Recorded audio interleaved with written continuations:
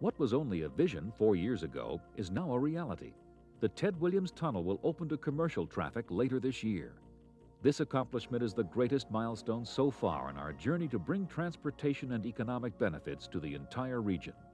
We're proud of the steps we've taken with you to reach the light at the end of the tunnel.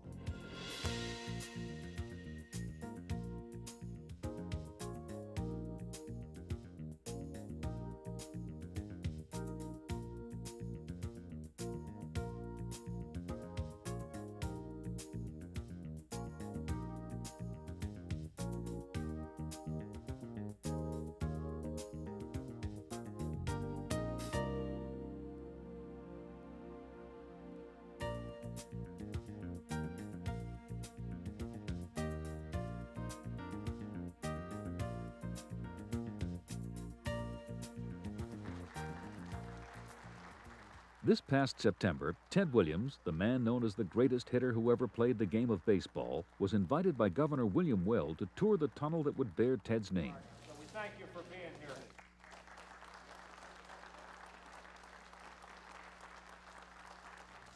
Um, the easiest and best way for me to explain my feeling here today is that it's forever, or for a long time, gonna weld my name Ah, there you go. to this, to this great project.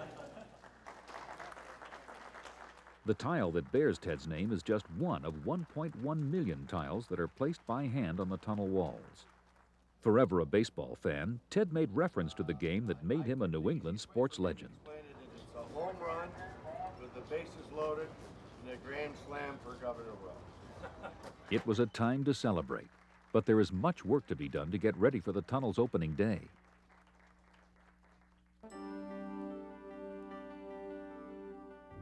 We're going to open the tunnel to commercial traffic in December of 1995.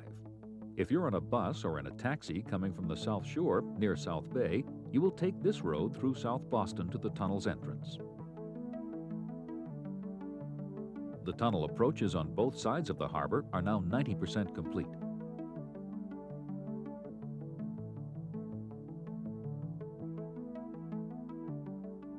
In South Boston, the last barrier between the underwater tubes and the land-based tunnel has been removed. And the last sections of roof are in place. At Logan Airport, work continues on the northern approach to the tunnel and the connection between the underwater steel tubes and the concrete land-based tunnel.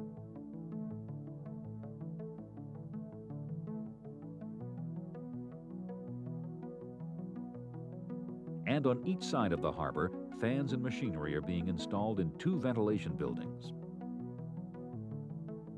Before all traffic can use the tunnel, it needs to be connected to the Massachusetts Turnpike.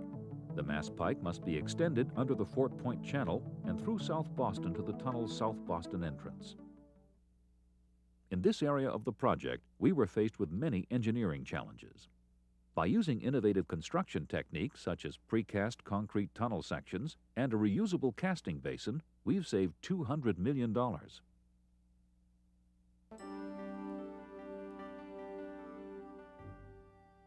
During this past year, utility relocation has been proceeding in downtown areas to move utility lines out of the path of the new underground expressway.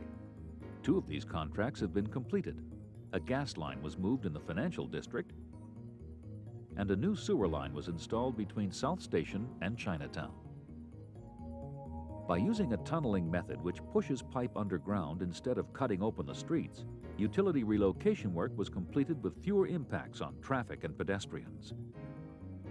Construction of the first underground walls for the central artery is underway near Fulton Street between Quincy Market and the entrance to the Callahan Tunnel. We're using an innovative construction technique called hydromilling to build these walls. It's quieter than conventional machinery and creates less vibration. And since the hydromill mixes the dirt with water to carry it away, there is less dust than with conventional digging. While we've been doing all this work, traffic continues to flow and pedestrians are able to enjoy this vital downtown area.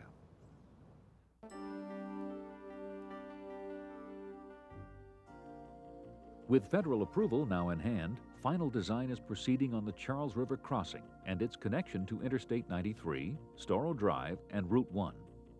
The new river crossing includes a cable-stayed bridge that will provide a dramatic entrance to the city from the north. One of the most accident-prone stretches of highway in Massachusetts was eliminated last year when the temporary loop ramps which connect Route 1 with I-93 in Charlestown were opened. With the removal of the old elevated ramps in City Square and the shifting of traffic into the tunnels, Charlestown regained several acres of open space and a new City Square park. This milestone, along with the opening of the Ted Williams Tunnel, is a preview of the promise of the Central Artery Project.